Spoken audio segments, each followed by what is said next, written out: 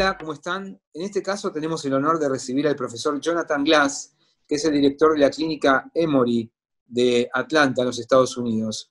Jonathan Glass es uno de los neurocientíficos más prominentes del mundo y de los más eh, jerarquizados en los Estados Unidos. En este caso nos va a hablar sobre la atención multidisciplinaria de su clínica, eh, trasladando las experiencias y también sobre los ensayos clínicos que hay actualmente en el mundo y sus comentarios al respecto. Muchísimas gracias por estar con nosotros, Jonathan, nuevamente. Eh, tuvimos el placer de recibirte hace un par de años atrás en Argentina, en diferentes eh, lugares del país, eh, y para nosotros es un enorme privilegio contar nuevamente con tu palabra y con tu experiencia y con tu sapiencia para toda la comunidad argentina. Bienvenido, Jonathan. Gracias. Okay. Well, I'm happy to be here. Um, hello, everybody. My name is Jonathan Glass. I am the director of the Emory ALS Center in Atlanta, Georgia, in the United States. And uh, my friends, uh, Pablo and Dario, have asked me to give a little presentation about um, how we run our multidisciplinary clinic. And I'm going to try to do that uh, this morning. Um, and so, just to start off, um, this is this is the way we approach care. Uh, we approach care by um, combining a partnership uh, between uh, the medical professionals um, and the patients and volunteers, but um, also um, we have vendors and all kinds of uh, other folks who come into the clinic uh, to help. Anybody who's got expertise, we invite them in. And so this is the way it, it kind of looks. Uh, we say it takes a team for patient-centered care, and what you can see is right in the middle are the ALS patients and their families. And here we have the Muscular Dystrophy Association and the ALS Association um, that actually participate by not only giving us a little bit of money to support this clinic, but they come in uh, to the clinic and meet these patients, and they can provide certain amount of services within their homes and in their communities that we can't provide here at the clinic. And so um, we work with them directly as uh, partners so they can tell us what's happening at home while we're taking care of them in the clinic. But as you can see, uh, surrounding uh, this uh, care team are our clinical nurses and physicians and our research nurses and staff. Um, we also have many people from uh, the rehab facility, which include physical therapists and occupational therapists, we have a nutritionist, dietitian, um, we have a respiratory therapist, speech pathologist, we have social work, um, and somebody who deals with augmentative communication with the tools that we now have to help people communicate who can't speak. Um, but also, we have um, vendors, and these vendors will include uh, wheelchair fitting services. And so when patients come to the clinic, they can bring their wheelchairs, um, and those wheelchairs can be fixed those wheelchairs can be uh, changed to help with the patients. They can be refitted uh, right there in the clinic. And the idea here is this is a one-stop clinic where people come and can everything get everything they need, so they don't have to go to multiple um, healthcare providers or multiple vendors. We also have an orthotist that comes to the clinic uh, to give patients um, things like foot braces, uh, hand braces, all kinds of things like that, neck braces. Um, we have volunteers that come to the clinic. Uh, and these volunteers are typically family members of uh, people that we have taken care of in the past who want to give back to the community. These people are extraordinarily experienced in how to care for their loved ones at home and can give lots of advice um, to other families who are dealing with this. And possibly uh, most important are our students and fellows that come to clinic. We need to teach the next generation how to do this. Um, and so um, we encourage our students and fellows to come and to learn and participate, which uh, many of them have told us when they go out into practice has been very helpful. Oops. So this is our team. This is just our uh, clinical team. Um, we have three physicians, uh, myself, Dr. Christina Fournier, and Dr. Uh, Rocio Garcia uh, Santabanez, uh, who's from Ecuador. And actually, she quite helps. She speaks obviously fluent Spanish we have a big Spanish speaking uh, population up here. And so she can help uh, directly with communicating with those folks. We also have a nurse practitioner um, Annie Rowland, and probably the person who runs the clinic most, who works really 24 hours a day, seven days a week, trying to help these patients, is our clinical nurse, Holly Doe. We also have a team of research nurses who deal not only with helping uh, take care of patients, these, are, these three nurses are extraordinarily experienced in the care of ALS patients, but they run our research team, um, which uh, help with all of our clinical trials. And we uh, help to recruit patients for clinical trials and keep them in our clinical trials. And uh, within that are the non medical staff that are clean, clinically research coordinators who run some of those clinical trials and are extraordinarily important in keeping all these things going. Right now, we're working on about five or six clinical trials actively, and so keeping all that those balls in the air is sometimes um, quite a challenge. And this team does a great job. Um, we have uh, two physical therapists that, that come to the clinic, and hopefully Diane Beckwith will come on a little bit later to answer some questions. Um, we have an occupational uh, therapist, Nicole Patel. We have respiratory therapist. Uh, we have Rob and Shundelin, uh, speech and swallowing, a speech, speech pathologist, uh, extraordinarily helpful in addressing uh, whether patients are safe to swallow, whether they need PEG tubes, um, and uh, whether they need strategies to help with their swallowing, along with Glenn, our nutritionist, who's been with us probably since the beginning and has uh, probably learned more about the nutrition of ALS from experience in taking care of ALS patients than most nutritionists around the world. We have um, somebody who we recruited from something called Tools for Life, which is run out of one of the other universities in Atlanta. This is Krista and Krista helps with all the um, electronics that are coming on board, the eye gaze systems, um, the new systems that are coming out that work with both the iPad and the Android um, uh, tablets.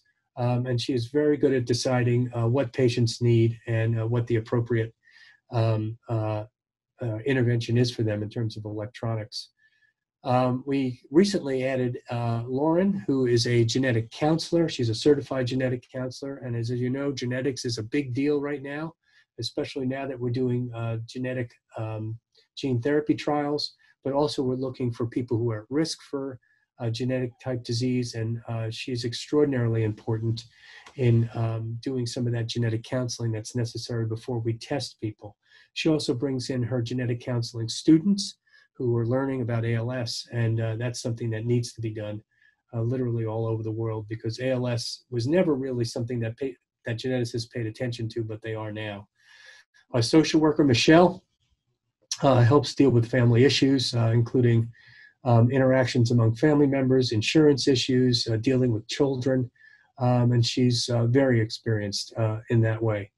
And then we have this team of volunteers. Um, these are just some of them, uh, run by Karen Duffy. Karen came to us about 15 years ago through her children. Her two young boys um, got interested in ALS, and they called me and said, What can we do for ALS? And I showed them the laboratory, I showed them what we did. And now Karen not only uh, runs our volunteer program, she runs some of our fundraising events, um, and has really uh, become a member of the team. And she brings in these other folks um, who typically have had family members associated with ALS and who come in and help us with everything uh, we need to do. Very important is our administrator. This is Ruya, um, and Ruya makes sure the patients get to the clinic, get their appointments, um, now deal with our Zoom appointments. Uh, she's uh, very valuable. And um, uh, Michael um, deals with our database, which now has about 2,500 patients in it. We try to take all the different details of patients, all the biospecimens that we've collected, and he has created an enormous database um, where we can just go into it and see who these people are, where they are in the progress of their disease, which ones might or might not be eligible for a clinical trial, but also um, what biospecimens uh, do we have that we can share with researchers around the world um, that they can they can use. So it's it's a big team, and this is just the clinical team. Um, I don't have the research, the basic research team up here uh, right now. But as you can see, I don't do it myself. In fact, I couldn't do it myself. It really takes a lot of people to really make this work. And we haven't stopped. Um, we are continuing to do our multidisciplinary clinics during COVID. And again, a lot of this has been done by uh, Michael and Ria. And what you can see here is uh, banks of computers where we can actually have multiple patients online at the same time. They will see all the different providers that they need to see online. And what we have learned is two things. Number one, patients don't mind this. In fact, patients kind of like this. Uh, traveling in Atlanta or to Atlanta and trying to park your car and getting into the clinic is not easy for many of these folks. Number one. Number two, they are comfortable in their own homes. Um, and they can have family members from anywhere in the world join into these Zoom meetings. And even though we can't physically examine them, um, we can get a sense of where they are in their disease. Uh, and in fact, Dr. Fournier has developed a um, telemedicine based clinical examination that we're testing out now to see if we can get some real data on how people are doing. We do get um, respiratory therapists to go to people's homes so they can actually get some breathing numbers if we need it. And if they need a wheelchair, we can get our wheelchair vendors out there. We can bring them in to get them fitted for a new wheelchair. So we really haven't stopped, even though um, the COVID has uh, kept us from seeing a lot of these folks in person. So, what are the therapeutic interventions that can affect survival in this disease? And uh, the one that we all know about is riluzole, and I'm going to show you a little bit of data um, on riluzole. Uh, respiratory care and non-invasive positive pressure ventilation, or NIPPV, um, BiPAP or Trilogy or AVAPS, um, that actually makes a difference in survival, as does nutrition. Um, we've all heard about edaravone, which has been shown to slow progression based on the ALSFRS, um, but uh, there's really no survival data at this point. Um, there is some new data, obviously, from the Amylyx folks that have just been published, um, but we're waiting to see um, how that data uh, falls out in terms of a new therapeutic. So this is the original paper um, from from uh, Riluzole that was published back in 1994. And um, it is pretty uh, impressive stuff. That this was looking at survival, not at the ALS-FRS, which is a really subjective scale. This is actual survival. This is black and white. And uh, when you look at all patients, people on Riluzole lived longer, lived about 10% longer than people on placebo. If you look at just the bulbar onset, that difference becomes bigger. And even though there is a statistically significant difference when you look at limb onset disease, it's a bit smaller. And so you can see that the real um, uh, push in terms of the data really comes from the bulbar onset disease. And many people have poo pooed this data over the years, uh, but in reality, this has been repeated multiple times. Um, and every time it's been looked at, uh, the people on uh, riluzole always live longer. The idea of riluzole was based on this data that originally came from Dr. Rothstein at Johns Hopkins, showing that excitatory amino acids, both glutamate and aspartate, are higher in patients with ALS than in controls. And um, um, what we had thought, at least at the beginning, is that what riluzole does is really attack uh, this glutamate mediated, mediated um, abnormal excitatory amino acid uh, metabolism. And the way that works um, looking at uh, the neuron and um, the synapse here, uh, the connection between the upper and the lower motor neuron, um, glutamate is released and is taken up by the lower motor neuron. And it's thought that in ALS there's too much of this, and that might be due to this problem here because astrocytes, which are really the vacuum cleaners of the synapse, take up that glutamate and, and take it away from the synapse. But if the, the astrocytes are not working well enough, there may be too much glutamate. The idea here is that riluzole blocks the release of glutamate and actually reduces the amount of glutamate in the synapse, reducing excitotoxicity. Since this original work was done, we now know that riluzole has some other effects, including it's a sodium channel blocker, and a sodium channel blocker uh, may reduce excitotoxicity as well, although many other sodium channel blockers, which really are the anti-epileptic drugs, have not worked in ALS. So we're not absolutely clear how this works, but we do know it works. And if you look at this, which is a compilation of three trials that was published back in 2007, what you see here is that if you combine all the data from these um, placebo-controlled clinical trials, you see that in each one, um, the patients on uh, riluzole did better uh, in terms of survival. This is survival um, as opposed to the ALS-FRS uh, rather than placebo. So when people ask me, do I put people on riluzole? The answer is absolutely yes. And they say, well, it's only three months. And I say, well, that's better than anything else that's ever been shown, number one. And number two, maybe it's not three months for some people.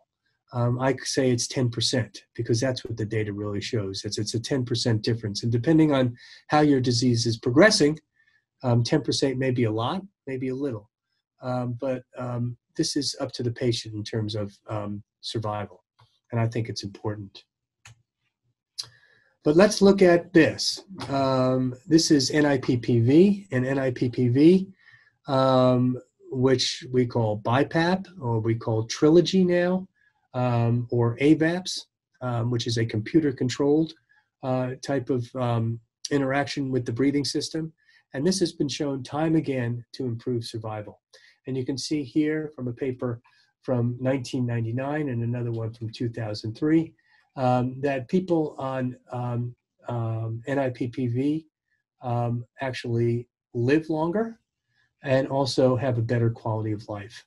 Um, and you can see even that if you look at their ALS FRS-R, you can see that that tends to improve in patients uh, with uh, on, on non-invasive ventilation. Uh, BiPAP uh, has a single setting, meaning that it has the same pressure going in as the pressure going out and does not adjust itself. Um, the respiratory therapist or the physician needs to address those pressures to deal with how the patient is uh, level of comfort or in terms of um, the patient's uh, changing needs as the disease progresses. What the AVAP system do, do and the Trilogy system does, it's a computer controlled um, volume control. And so what it does here is it actually adjusts its pressure in and its pressure out based on getting a specific volume in uh, to the patient's lungs. And uh, patients tend to find this a little bit more comfortable. And we also find that we need to adjust it much less frequently as the patient uh, progresses.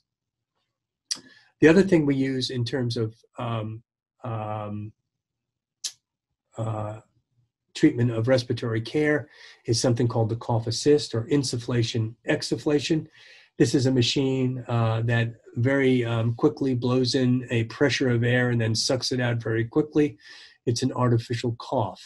Um, this does so, multiple things. What it's meant to do and what it does very well is to clear the lungs of excess mucus um, and secretions uh, that are typically um, uh, cleared by us coughing. Um, we generate uh, pressure with coughs, but people with ALS clearly cannot generate um, the same kinds of pressures. But what it also does is inflate the lungs, allow, allows the lungs to stay clean and open, and prevents uh, the um, collapse of the lung sacs or atelectasis. Um, it's usually well tolerated. Um, there's no good control data showing this is good, but I can tell you that patients uh, tend to love it. So um, let's look at nutrition now. That's the other thing that uh, improves survival. Um, and the risk of malnutrition in ALS is obvious to anybody who's actually uh, seen an ALS patient or cared for an ALS patient. Um, patients uh, have difficulty with swallowing. They have weakness in their extremities, and so they can't necessarily get to food to their mouth, so they can't feed themselves. And they develop spasticity around their mouth, so it's difficult uh, to actually open their mouth to get food into it. Also, uh, respiratory insufficiency uh, makes it difficult to breathe.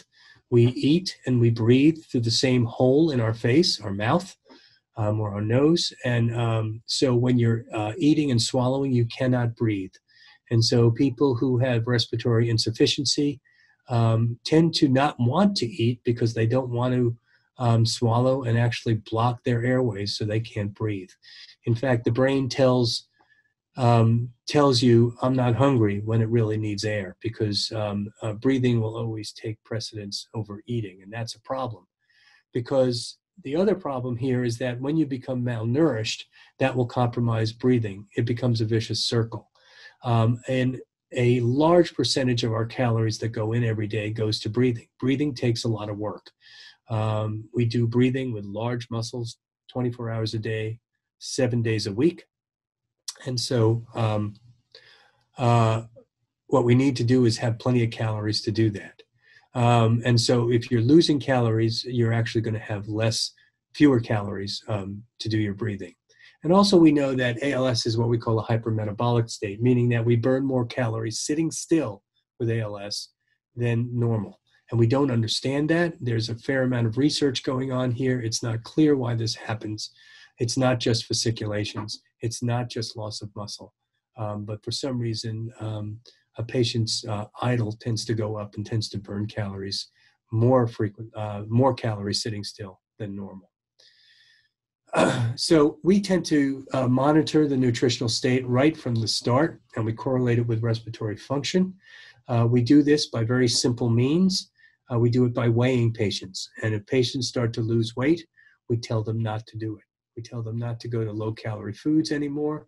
If they're on um, uh, kind of low fat diets because of cardiac disease, depending on what their disease looks like, um, we say, well, that may not be so important uh, at this point rather than uh, not losing weight. And so we ask patients to weigh themselves probably once every week or every two weeks.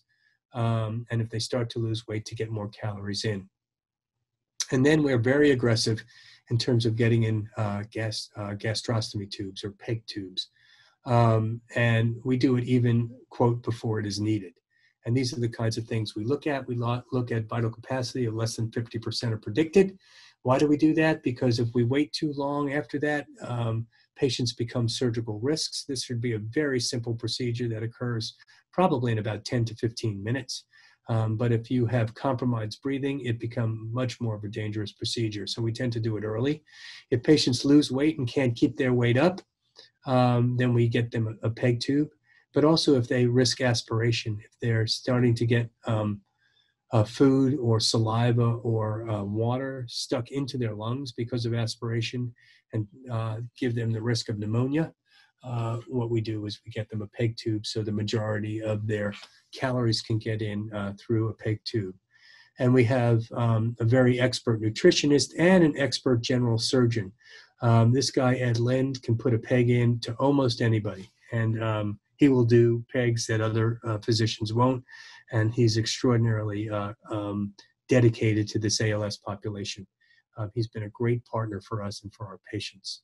Um, what you can see at the bottom here, um, um that um, if you uh, look at the number at risk um, in terms of getting a peg tube and not the patients getting a peg tube, uh, tend to do better in the long run. Although, if you look at it, um, patients getting a PEG tube are typically later in their disease, so it's very difficult uh, to do a clinical trial in PEG tube to see whether it improves survival. We've tried several times, it's hard to do.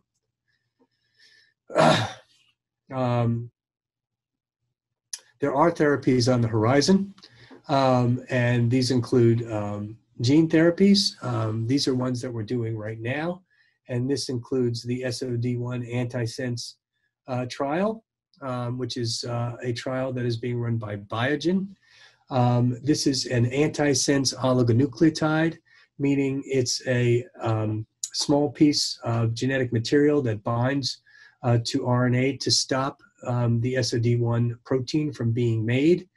Um, and there was a publication in July in the New England Journal of Medicine showing that it slowed progression in the highest doses in patients who had the fastest progression the caveat there that that was really only for patients uh, compared to for placebos. Um, having said that, uh, the data is pretty impressive that these patients just tended to stop getting worse. Um, there's another trial coming down the pike from another company which will use microRNAs to actually turn off um, this uh, SOD1 gene as well. Um, and uh, we're hopefully to get that started uh, maybe by the first of next year. The most common genetic mutation uh, causing familial ALS is the C9orf72 mutation. Again, there is an antisense oligonucleotide trial going on right this second. Um, this is an earlier trial than the SOD1 trial. We haven't seen any results yet. Um, but again, uh, there are dozens of patients in this trial. They are receiving uh, uh monthly doses of an antisense oligonucleotide um, to turn off uh, this C9orf72 gene. And if you know about the biology of this, uh, this is what's called a hexanucleotide repeat.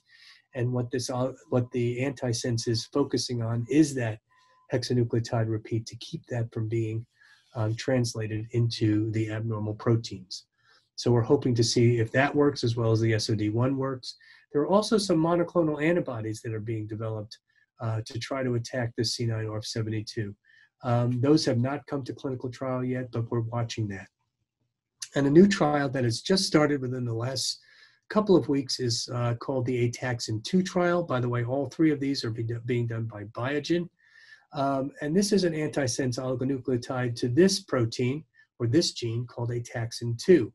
What's interesting about this is this is not specifically for genetically based disease, SOD1 or C9orf72, but in fact for sporadic disease, people who don't have a genetic mutation. And this is based on the science uh, that's come out mostly from California, from a guy named Aaron Gitler, showing that ataxin-2 is a protein that interacts with another protein called TDP43, which is a protein that seems to be important for almost all patients with ALS, especially in sporadic disease. And at least in animal models, when you knock down ataxin-2, um, TDP43 is reduced, the abnormal, the abnormalities are reduced, and at least the mice that have been treated tend to live much longer. So this is a really exciting trial that potentially will be amenable uh, to treating disease in a much larger sporadic population than in the um, in the genetic population. Um, we uh, have heard about this um, thing called AMX 0035 from uh, the company called Amylyx, a company that was started literally by two college students um, several years ago. And this combines uh, two drugs that were tried previously sodium, sodium phenylbutyrate and taurursodiol, which is another name for this is called TUDCA.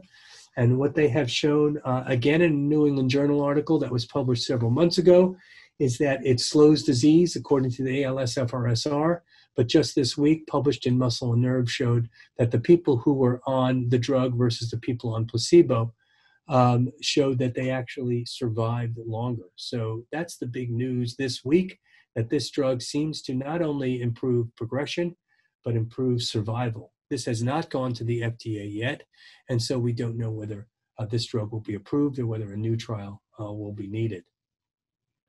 Uh, the new um, kind of trial design, not necessarily new trial, but new trials, but the new trial design is called the Healey Platform Trial. And this is kind of an interesting approach to clinical trials.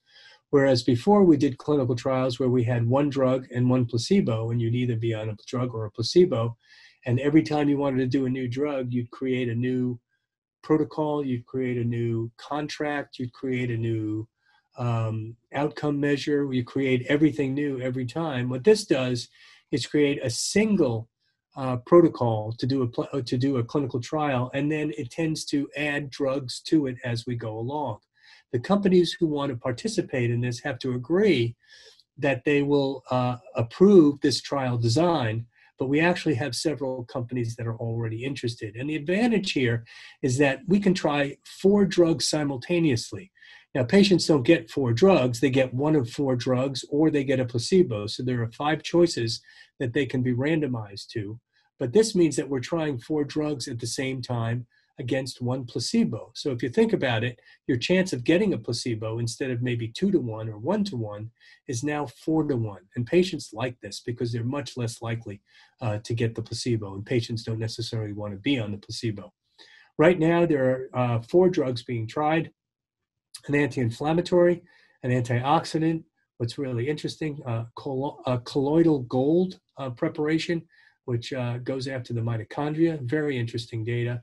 And another uh, neuroprotective uh, drug that's going after a, a, a receptor called the sigma 1 receptor. And all of these are ongoing right now, and uh, patients are being um, randomized at 54 centers across the United States right now. And we hope to get data very quickly on these drugs. And then if one drug fails, you just replace it with another one on the line. And so that's really uh, interesting. It's faster, it's more efficient, and eventually it will be cheaper.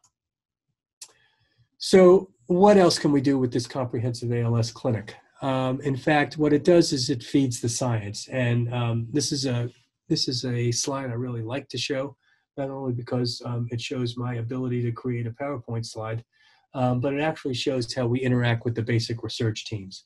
So if you create a comprehensive clinic with all those different features that I've already shown you, um, you create a reputation for having an excellent uh, clinic where patients get very, very good care.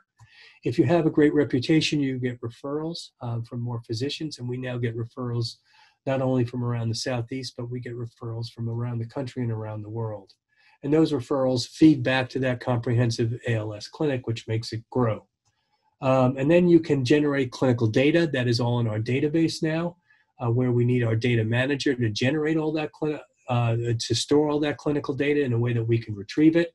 We create a DNA repository and we can now have data on epidemiology based on all of the different exposures these patients may have had, uh, what their ages are, where they live, all kinds of uh, epidemiologic questions can be answered. And that actually creates multi site collaborations. And we've taken this DNA and all of our clinical data and we've contributed it to something called Project MinE, which is a 15, uh, 15 country collaboration looking at whole genome sequencing in patients with uh, ALS. Um, we've actually worked uh, with other universities um, in Europe, uh, in Australia, and across the United States, um, sharing all these data and all these biospecimens. And it also feeds the bench science that goes on here and goes on elsewhere, uh, giving DNA and actually, um, I didn't put it on here, but also our autopsy uh, bank of patients with ALS where we have brain and spinal cord tissue um, from these patients. Um, and that leads uh, to uh, research on mechanisms of disease, some um, ideas here that, that this is certainly not uh, all the ideas. We look at protein misfolding, oxidative stress, genetic susceptibility to disease. We spend a lot of time on that and possibly even environmental exposures. And this is not only important for ALS, but we do know that there are common themes among other neurodegenerative diseases, including Parkinson's disease, Alzheimer's disease, uh, and even Huntington's disease. Um, and from there, um, we can generate novel therapeutics. Um, we're already doing that, um, and that feeds back to the uh, to the clinic where we can actually do clinical trials. And so um, you can see here that if you want to do uh, science in ALS, whether it be clinical science or bench science, you really need the patients uh, to do that. I can tell you that animal models and cell models of ALS are useful, but they're not the real disease. The real disease happens in humans, and humans need to be studied so we can understand the disease in the real uh, people who have that disease. And I can tell you, at least in my experience, patients are very, very willing to participate. In fact, this morning, not only did I do a spinal tap on a patient with an SOD1 ALS, but I asked her whether I could do a skin biopsy so I can grow her cells and make iPS derived motor neurons from her. And she said, absolutely. Take what you need, do what you need. And that's that's been the partnership we have with our patients. So that's my presentation. Um, oh, one more thing. Uh, as I said before, very important, our clinical training. We're training medical students, we're training uh, uh, students in genetic counseling or physical therapy or occupational therapy. Um, we're training undergraduate students, PhD students, uh, MD PhD students. And again, we need to train the next generation. Uh, I don't pretend to believe that I am the last ALS clinician that's going to be out there. At some point, I'm going to be to be replaced, and we need uh, replacements uh, to come sit in my chair and um, all the chairs that are around the world. So that's extraordinarily important.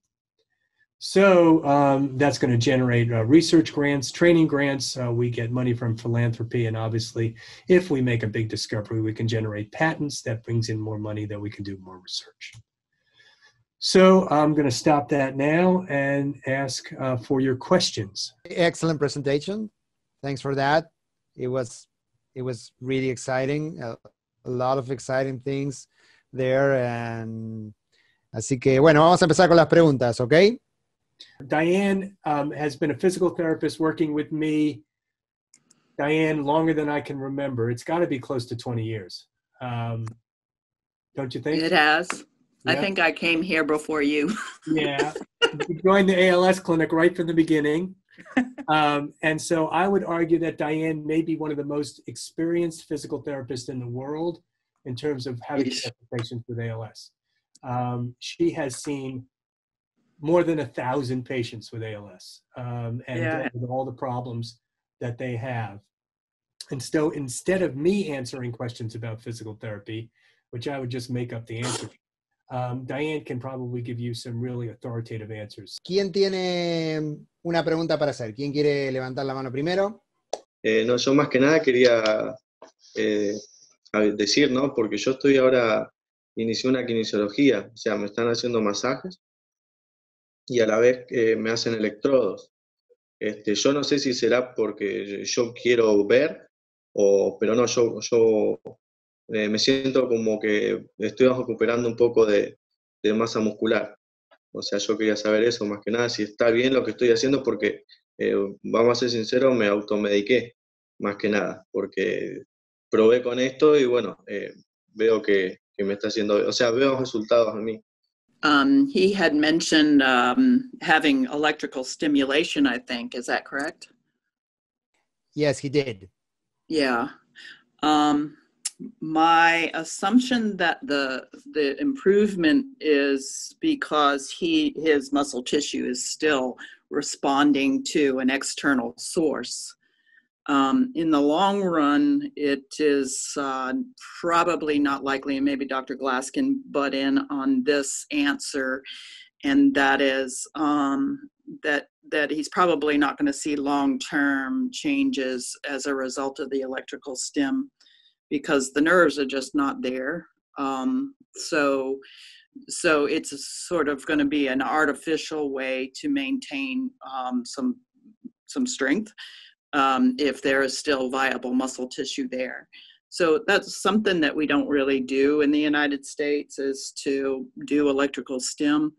Um, but that being said, if he, he's noticing a change, then um, that's a good thing, and he may um, be able to use his arm hand more. Um, so um, yeah, I, um, the other answer to that question is physical therapy is certainly valuable as long as we can offer the patient some changes to their function. You know, can we assist with, um, you know, keeping joints flexible so that, you know, they can move easier? Um, and we do a lot of prescription of equipment so that things make are made easier.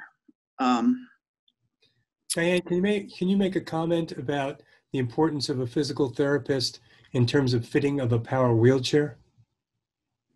Yeah, so that um, that goes beyond that. That's part of the equipment uh, uh, gamut. Um, you know, we look at braces initially um, to help walking.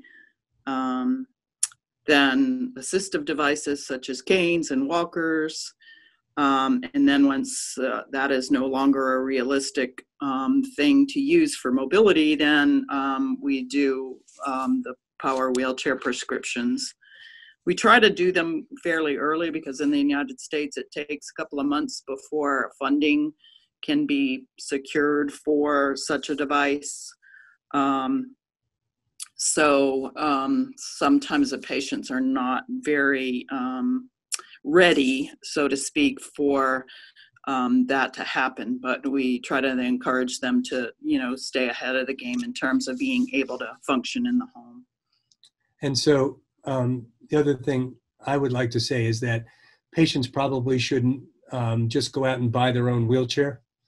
Um, wheelchairs especially late in the disease, are extraordinarily important in terms of comfort and size and the other features you can put on a wheelchair. And so just buying one um, may not be the best thing. And so I think, Diane, um, one of your expertise is making sure patients get the right wheelchair. Is that correct? Yeah. So it, uh, we um, we have uh, issue in in in the insurance industry that you know um, they're they're not likely to pay for multiple devices over you know a, a, a short period.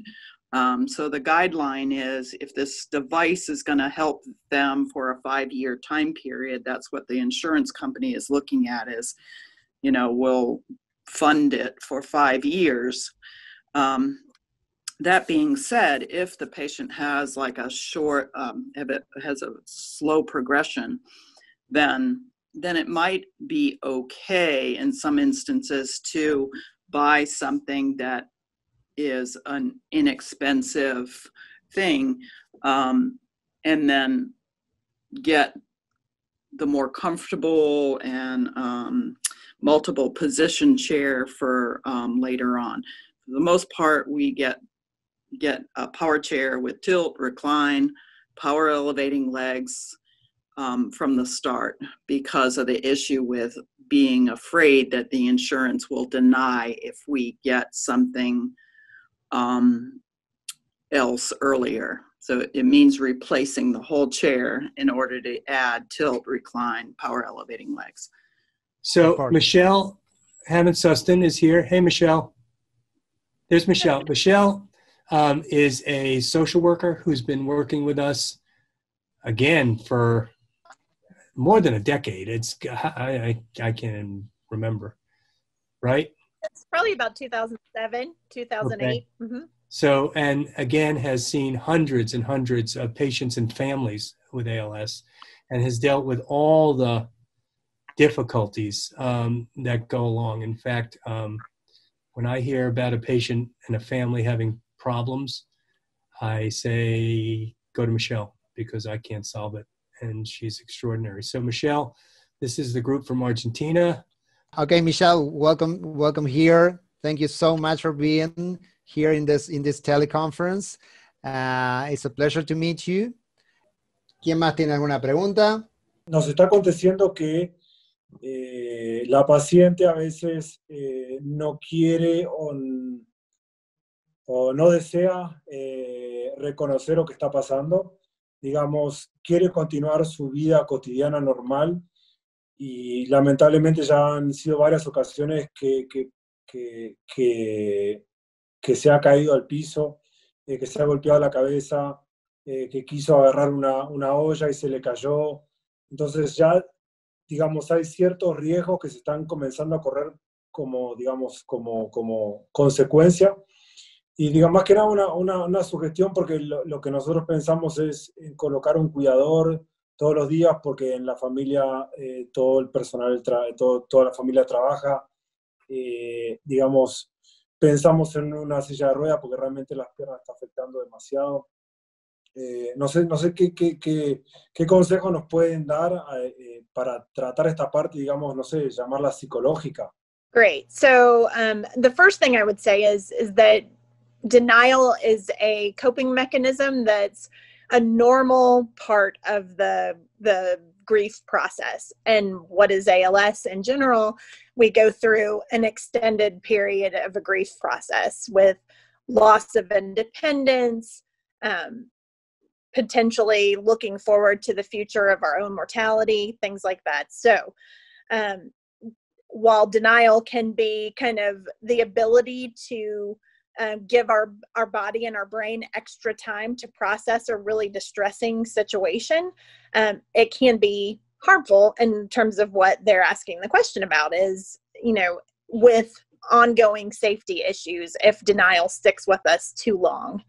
Um, so I would usually say up front, one of the primary things for families to do is knowledge is power. So it's great that they're asking questions and getting educated about how they can be helpful, even if mother in law isn't currently on the same page about um, where she is with the disease progress. Um, the second part, I think, is validating that experience of um, it must be really hard to be experiencing this. Um, that's something I think that's really productive for family members to be able to say um, in a way that sometimes people dealing with ALS um, can hear. Um, so that's a good starting point, I think, is to acknowledge what's underneath of denial. And again, oftentimes I'll hear from people the idea of the biggest one is loss of independence or loss of control around their own life. Um, the second one is kind of the idea that if I give up, if I if I acknowledge that I need more help, I'm giving up or giving in to the disease. Um, and then kind of the third piece is probably the idea of um, if I acknowledge it, then that makes it real. Um, so by kind of delving into what's underneath that denial, it's helpful, I think, um, to kind of get a better understanding of what the person who's living with ALS is experiencing, and maybe to help them get some insight into what's underneath that as well. Um, so I like the idea of, again, validating. Um, I understand that this must be really difficult for you. Um, I'm wondering, given the circumstances that maybe we've had increased falls or um, something safety related, if if we can maybe help keep you as independent as possible, what would that look like? So it's giving the person with ALS the ability to kind of step back from it a little bit and to do it maybe for them to think through what might be helpful instead of um, we oftentimes as caregivers or family members or loved ones want to say you need to stop doing this because this is dangerous. And i think just by having loss of control already that that can feel uh, really daunting to have somebody tell you you can't be doing something. Um, so being able to step back from it a little bit and say how can we help you stay as independent as possible for as long as possible?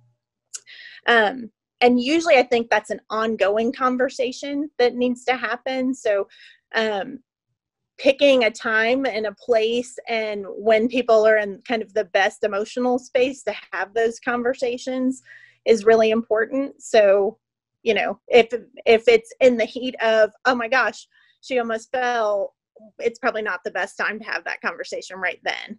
Um, but to schedule a time where you can kind of talk through some of those kind of issues i think is helpful so i uh, just to add to that michelle um, you said something that I say to patients all the time, and I'm glad Diane is on because um, they think if they're going to use equipment that Diane is going to give them, whether it be a walker or an AFO or a wheelchair, they're giving into the disease. And I say, no, no, no, you're fighting the disease. And this is what we have to fight the disease to keep you as independent as possible for as long as possible. And so it fits into the psychology. And I think what you said was perfect, which is I don't want to stop you from doing anything. I want to help you to keep doing things and do them safely. So um, we hear that all the time, Diane. I know we do. I don't want a wheelchair. Why? Because I'm not ready. And then they fall down and break their hip. Um, so it's a really inc- important point that you made.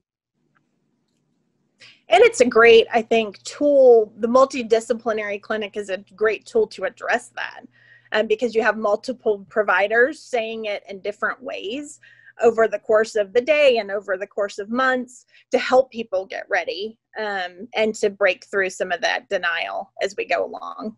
Um, so I think that's important too. Yeah, awesome. I, I know that some patients they don't want to listen to what I have to say, but when you say it, or when Diane says it, or when Nicole says it, they go, "Okay, that's fine." or Holly. It's really great to have a team of people who are extraordinarily experienced, um, and that way I don't have to know everything, which I know I don't. Wonderful. Thank you so much, Michelle. That was really, really helpful. So, uh, John, uh, would you like to continue with the rest of the questions? I'm happy to do that. Yep.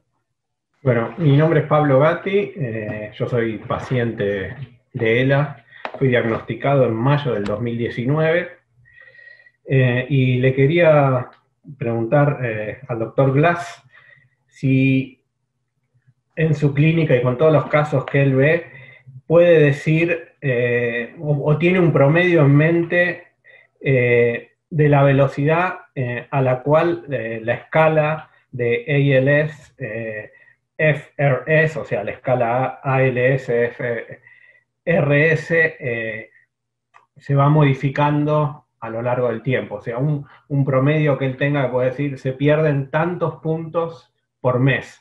Yo, como algo que tenga en mente, si eso es posible o si la variedad de casos que él ve no le permite eh, tener ese número en la cabeza. Gracias. It's a, it's a good question. Um, I'm not sure if there's a great answer. Um, so if you look at the literature and you look at clinical trials, um, we look at the average uh, patient going at about one point per month.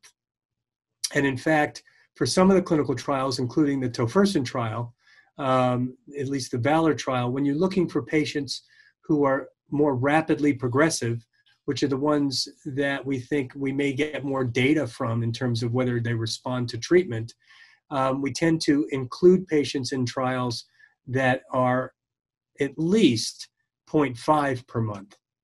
Um, so the average is, is one point per month. Um, and uh, um, we tend to, to look at progression at 0.5 per month as, as a, at least a, a progression that we can put somebody in a clinical trial. Now, I'm going to use this opportunity to advertise something different. Um, the thing about the ALS FRSR is that it's not a linear scale. Um, and so Pablo, um, who has had the ALS FRSR used for him in his tofersen trial, knows that there are 12 questions and there are four potential answers to each question, 48 points. Um, but they all go in, in different um, uh, regions or different different um, disability areas uh, in patients with ALS. So one point in walking doesn't necessarily equal one point in eating, doesn't necessarily equal one point in breathing. And so when you're going at one point per month, the question always comes up is which point is it? Um, is it the point in breathing? Is it the point in walking? Is it the point in climbing stairs? Is it the point in cutting your food? Which are all the different questions. And so it's a non-linear scale. Um, so a point in one of those questions doesn't necessarily equal a point in one of the other questions.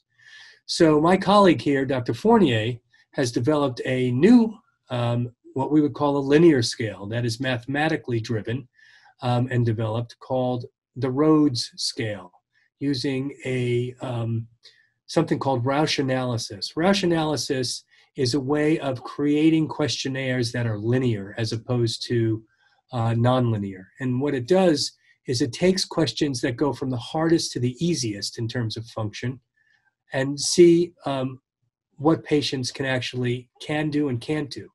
As opposed to four different answers, there's basically I can't do it, I can do it, but not as well as I could do it before, or I can do it the same way I can do it before. And what it's been shown, and she's published this now, is that this is a very linear scale that changes one point um, equals one point in terms of whatever question you're answering.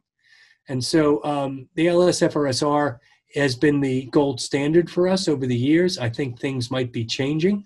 Um, my my vote is for the ROADS scale, um, but in fact there are some electronic types of things that are going to be coming on board pretty soon, including speech applications um, or movement applications that may be more quantitative um, and may be good um, uh, measures uh, that we can do repeatedly over time um, so we can actually see progression.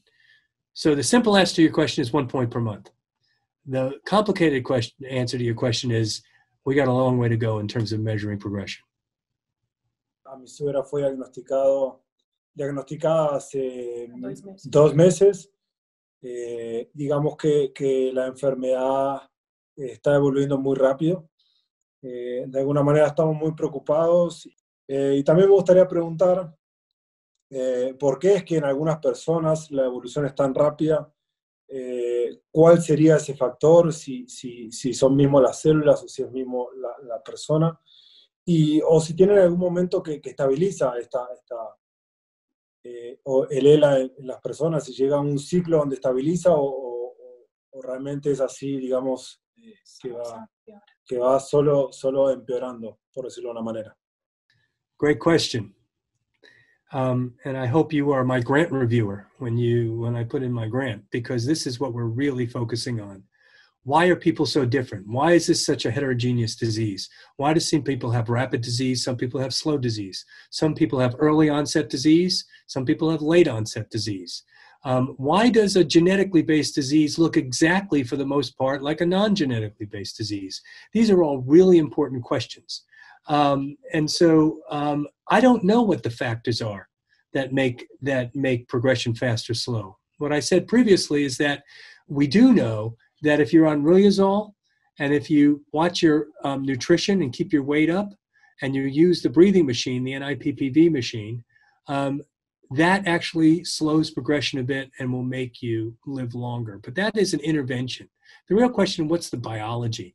Um, what are the things that make things faster or slower? And we believe, at least I believe, and my colleagues believe who work with me on this, is that there are other genetic factors.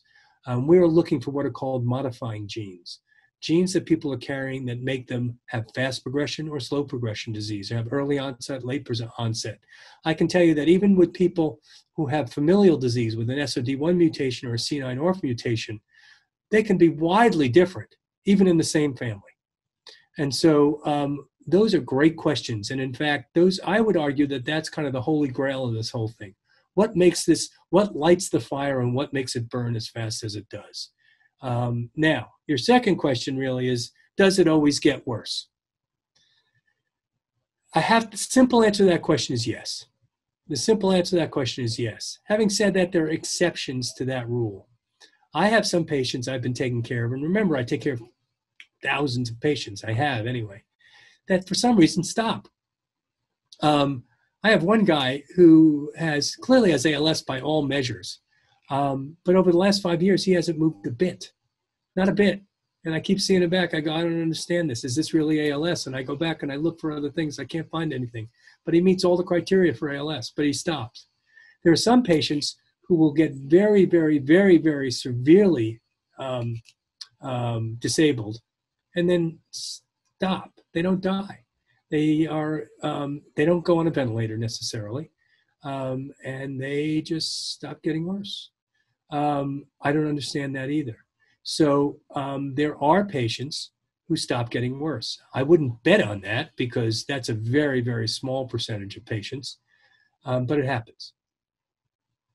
Eh, hola, ¿qué tal? Yo soy terapista ocupacional y estoy trabajando en una clínica de rehabilitación y estoy atendiendo un paciente con ELA. Entonces quería saber un poco cómo están trabajando allá eh, los terapistas ocupacionales, pero también en forma interdisciplinaria, el, tema de la comunicación, si hay algún tips en particular que están teniendo en cuenta en, en este, eh, este tipo de personas, ¿sí? Eh, si hay algo para recomendar. So I have an answer for you, Sonia, from Nicole Patel, who is our occupational therapist, again an expert in the in the care of ALS. And um, Diane is still on because I can tell you that you ask whether they interact with other disciplines, and the answer is absolutely yes. Um, they interact, Diane and Nicole interact all the time, um, and Nicole will interact with uh, the folks with um, who do uh, technology and even with nutrition in terms of getting food to people's mouths. So, what Nicole says is occupational therapy is focused on assessing the patient's ability to perform the activities of daily living and um, the bilateral upper extremity functions. Um, depending on the individual's needs, uh, Nicole focuses education on the following areas energy conservation, compensatory strategies focused on alternate positioning, like resting arms on tables instead of reaching overhead, adaptive equipment such as cuffs, universal cuffs, button hooks, built up utensils, adaptive clothing using Velcro, things like that, durable medical equipment, like a tub bench, a, a bedside commode, a bidet, um, all kinds of things like that, and maintaining safety and independence. She educates on contraindications for resistive exercises, increasing focus on stretching and range of motion to reduce spasms, the risks of frozen shoulders, which is a big deal, and I pay a lot of attention to people moving their shoulders so it doesn't freeze when it sits at their side, because that can be a painful thing that's difficult to treat um, and looking at contractures, especially in the fingers. Um, and we really, really try to avoid anybody having contractures in the fingers. Splinting to reduce wrist, uh, wrist drop, um, uh, contractures in the hand and fingers, he says, and recommendations for cervical collars if they have head drop due to weakness. And Nicole says, I do collaborate with other members of the team, especially physical therapy and speech therapy, to address safety and functional mobility, wheelchair positioning, swallowing and eating, oral care, use of adaptations to access uh, communication devices if hand weakness is present. So um, hopefully that answers your question. I don't know if Diane has anything to add to that um, in terms of how you interact with Nicole. Um, well, Nicole and I are usually um, together when we're in the comprehensive clinic. So um, the the question um, is, you know, where where is the dichotomy? And there there is not much of a dichotomy between a, occupational therapy and physical therapy. We kind of share responsibility for keeping um, the patients um, educated in range of motion exercises. Um, so uh, we collaborate in that way. We collaborate with on the equipment side as well. If I notice that the person has a hand contracture or finger contractures, then I may go ahead and just order for Nicole, um, you know, a set of hands resting hand splints, or um, I might, you know, con- confer with her regarding, you know, what's the best splint to do.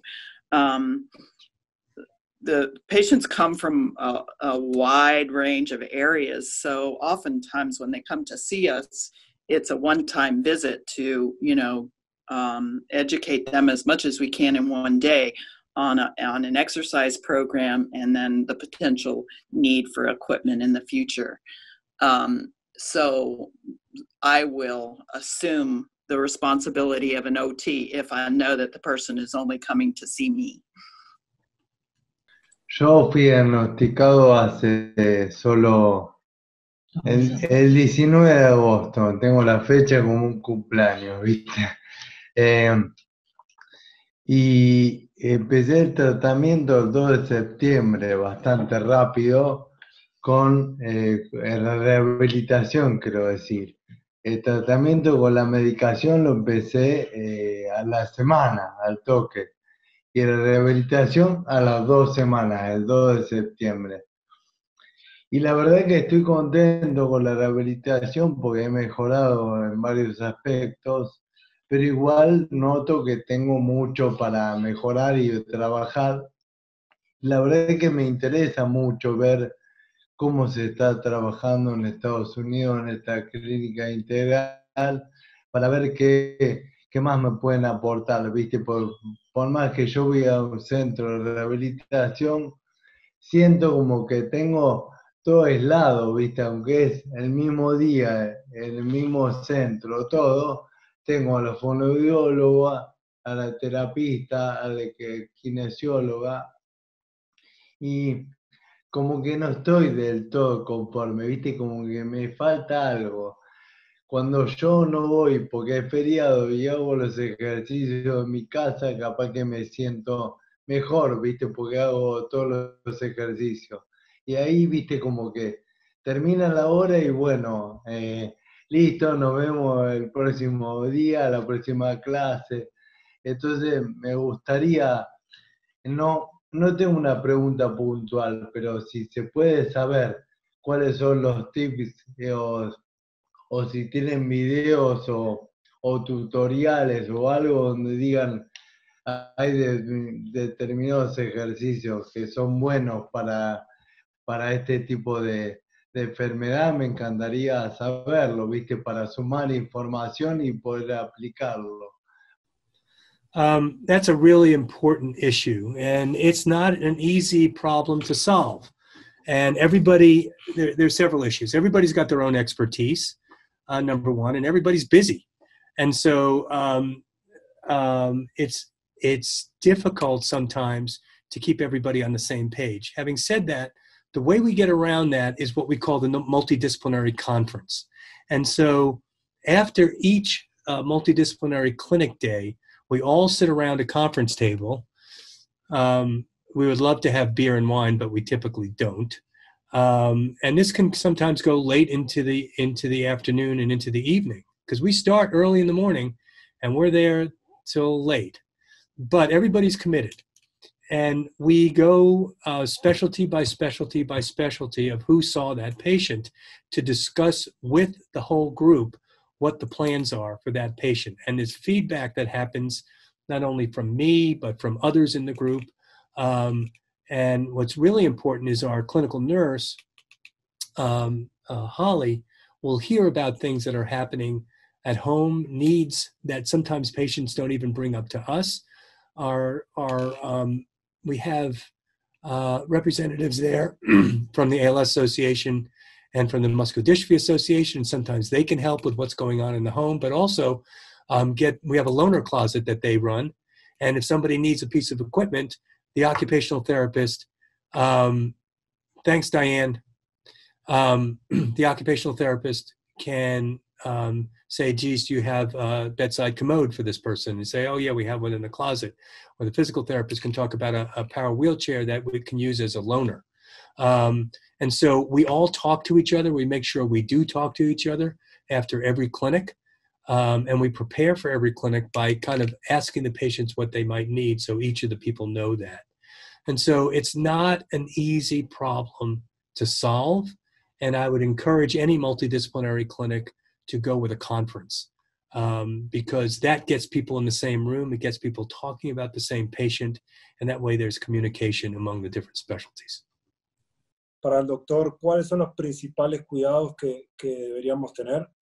Eh, digamos que hemos visitado varios médicos, eh, hoy está con, trabajando con fonodiólogo, trabajando con fisio, haciendo varias, varias actividades también eh, en distintos lugares, no aquí eh, en, en, el interior de, de, Brasil donde estamos, no hay un centro eh, para hacer todas las actividades, entonces digamos que queda un poco incómodo y realmente estamos viendo que, que la evolución está siendo muy rápida y realmente no, nos preocupa un poco.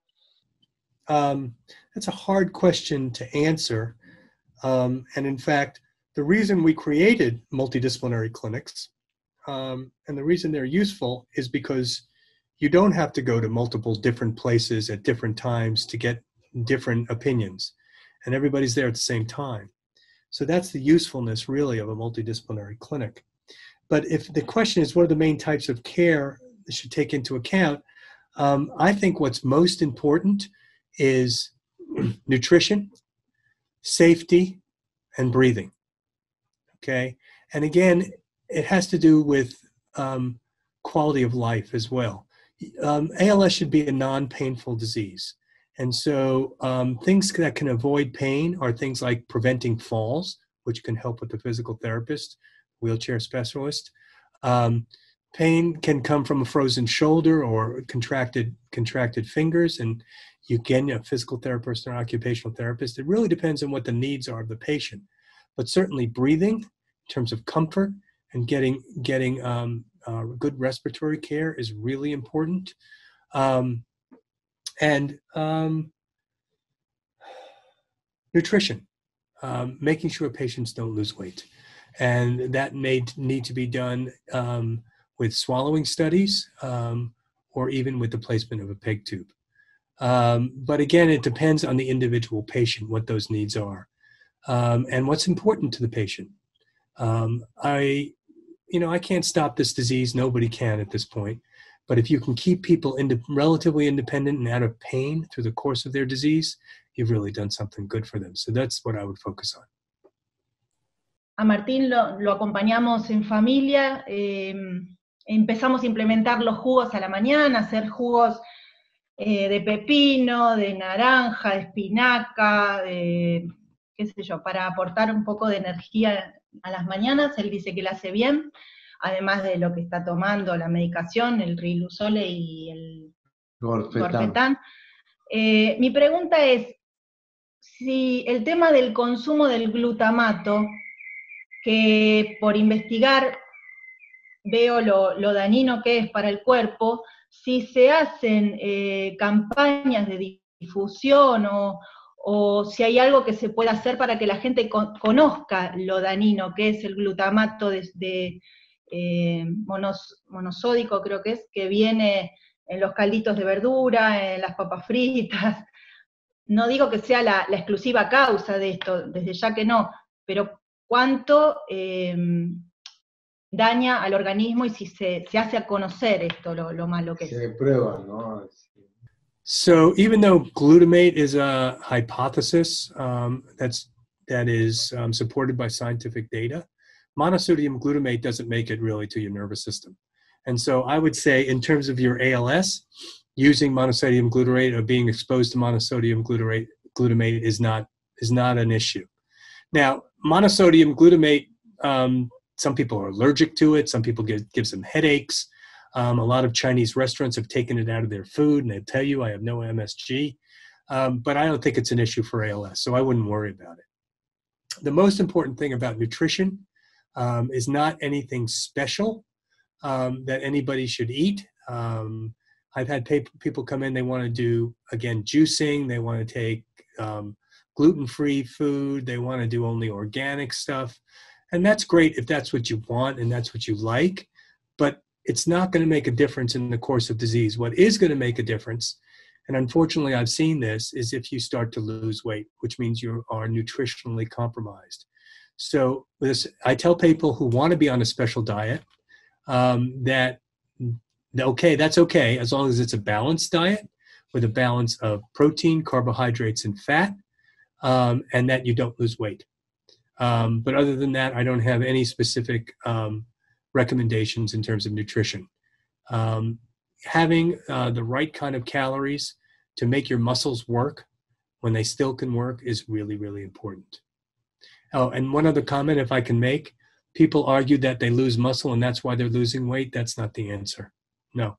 If you're losing weight, you're nutritionally compromised. You need to actually stop losing weight.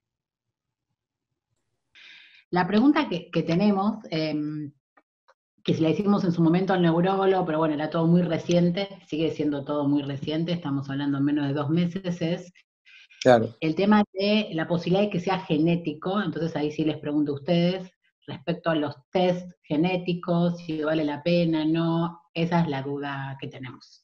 That's actually uh, a very topical question where we're having this discussion literally on an international basis. Within this week, I had that conversation. And um, here's the answer the way we do it. And, and again, it may be different in Argentina. Um, but um, genetic testing in this country is expensive. And um, so the way I approach genetic testing um, is my first genetic test is a really good family history. Okay. And some people don't do really good family histories. I ask you about your mother, about your father, about your uncles, about your aunts, about your brothers and sisters, about your grandparents. I, I ask every question and I try to get a sense of whether there's any evidence here that this may be a familial disease. Because the reality is, the chance of having a disease gene that we know about in somebody who doesn't have a family history is is possible but quite small quite small okay and um, I, I, I, would argue that a lot of the um, literature that argues that many sporadic patients have genetic mutations is they're not really sporadic patients. Somebody didn't take a really good family history. Now it happens no doubt about it, but I don't think it happens very often. And so if you have a, certainly have a family history of ALS, I do genetic testing. Or if you have a family history of dementia, I do family testing, or something that sounds like dementia or frontotemporal dementia, I genetic test, do genetic testing. I developed a program for the United States called ALS GAP, or Genetic Access Program.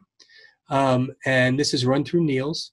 And basically, it's free genetic testing for people who have a family history of ALS or dementia and we, we fund this through um, uh, grants from the ALS Association, from the MDA, from Biogen, from Avexis. Um, we keep asking people for money to do this, okay? And so that's been great. We've actually tested close to 600 families so far. Now, if the question is, do I test family members of patients with ALS?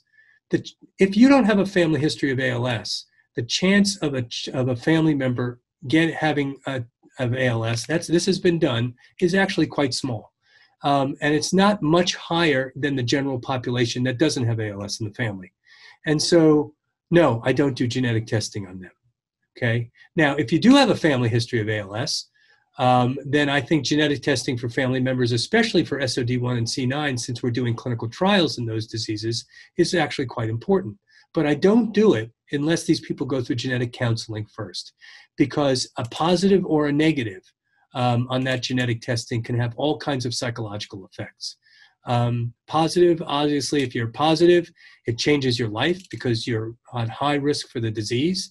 A negative um, can uh, kind of give you what's called survivor's guilt, which is why did my brother or sister have this and I don't have it? I feel bad about that. And this has been shown in Huntington's disease in the past and other genetic diseases. And so I make sure our genetic counselor is involved in that. Now, this is a different time. This is 2020, and we're moving forward toward more genetic treatments. Okay.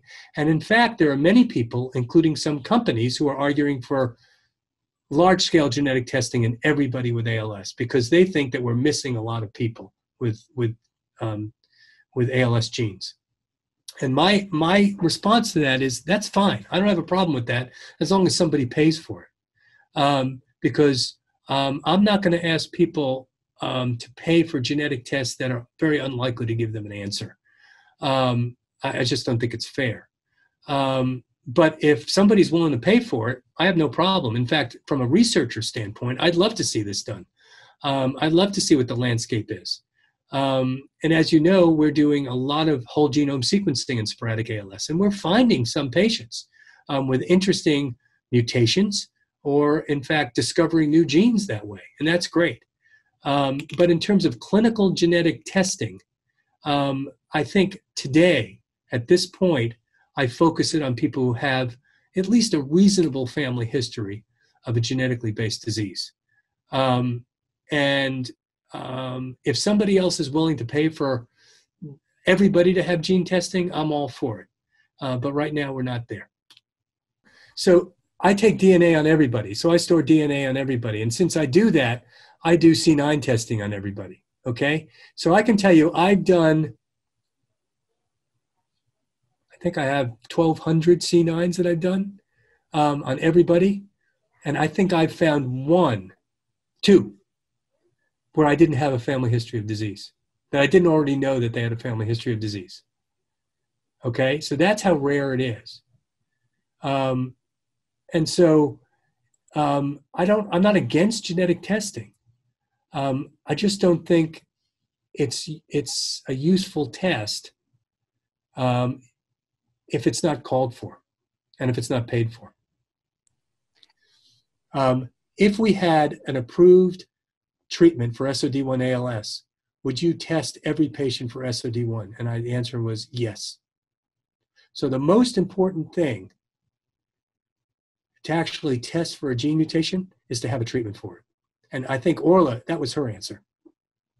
Right? You don't want to miss anybody. Right? So if you had a treatment for a certain type of cancer and you had to do a genetic test for see if that patient had that certain gene mutation in that cancer, you would test for it because you have a treatment. And same thing here. So I would not want to miss a patient. Cuando él vio las, las expectativas de terapias en el horizonte, eh, no mencionó las terapias con células madre, en donde hay una gran expectativa vinculada a los próximos resultados de, de Neuron, de la empresa Brainstorm. Queríamos saber eh, qué opinión tiene él al respecto. So the, the therapies I put up on that slide were the ones that had clinical data that argued that they work, okay? That there is a positive effect. And um, the data that has been presented by, by Brainstorm for NurOwn, I think has shown safety, but I don't think it's shown a clinical effect at this point. Now, maybe they will show a clinical effect. I don't know. Um, but that's why I didn't put it up there. Um, our stem cell trial, we really didn't prove a clinical effect. Clive Svendsen's cell trial has not shown a clinical effect. Um, um the folks in Italy have not shown a clinical effect. And so it's not that I'm against stem cells, certainly not. I mean, I spent a lot of my life doing that. Um, but I don't think there's any great data arguing that it works. Um, and I don't care what the news releases are from Brainstorm. Um, I still don't think there's any data that says it works. So um, that's my answer. Um, as soon as they show me data that actually is believable, um, and shows a clinical effect that I can believe, then I'll put it on the list. Um, but I haven't seen that yet. Eh, es una, una, buena pregunta. Saber en su clínica, que sabemos que además que hace este, atención clínica básica, en su momento estaba haciendo, eh, cuando vino a la Argentina, nos había hablado de, de una investigación con células madre en su, en su clínica. No sé ahora eh, en qué está. Okay. we have a big grant um, uh, in collaboration with the folks at the Mayo and at Johns Hopkins looking at um, biomarkers in C9. And so what we're doing is um, there, there are three groups involved. It's a big grant. And the folks down at the Mayo, run by Len Petrucelli, um, are doing mouse models um, of C9. Uh, and um, we're doing human proteomics on C9, and the folks up at Hopkins are doing iPS derived neurons C9 stuff, and it's all going to come together. Um, and the way we're what we're doing is so we have a certain expertise in proteomics here, and so what we're going to do is look for biomarkers um, by looking at motor cortex um, of patients with C9 ALS versus sporadic ALS um, versus controls, and um, doing what we call network analysis and comparing basically, I think we're doing 56 brains from here and 56 brains from the Mayo Clinic, and looking at the um, proteins that come out that are potential biomarkers. But at the same time, we're going to look at the mice and see whether there's any overlapping um, uh, proteins that come out as potential biomarkers, which would suggest that two things. Number one, that the mouse reflects the human, which would be good. And number two, that there's um, that this is possibly something that rises above the noise of all the different proteins that are going to be different. But then what we're going to do is we're going to choose a specific number of proteins, and then we're collecting spinal fluid um, from patients with C9 and from patients who are carrying C9 mutation, not, not patients, people who have C9 mutations but don't have disease yet. These are asymptomatic C9 carriers. And we're going to look for changes in the C9 patients versus the C9 carriers that may argue that this is a change that happens when somebody actually gets sick. So that's that's a big project that's happening in the lab. At the same time, I'm working with a guy named John Landers up at UMass with a graduate student in my lab looking at um, or, uh, genetic modifiers. So what we're doing is whole genome sequencing, looking for um, genes that may reflect the different phenotypes of patients. Um, we've done this once already. We published a paper a few years ago, taking two very early onset C9 patients to two late onset C9 patients, comparing them, doing whole genome sequencing, finding differences, uh, choosing those differences, and making fly models to see whether they actually can affect the pathology in a fly. And once that was done, to actually find a potential marker um, that, that suggests this is an influencer of what makes somebody a early onset versus a late onset. So that's the kind of um, stuff we're doing in the lab right now. Um, we're still working a little bit on axons and neuromuscular junctions. Um, and I'm doing some TDP43 work as well in, in human uh, tissue. Si hay algo nuevo en la atención clínica, que él está eh, como algo novedoso para la atención de personas con ELA. No sé si lo dijo antes o, o existe algo que él pueda dar como novedad o novedoso para el tratamiento clínico de las personas con ELA. No.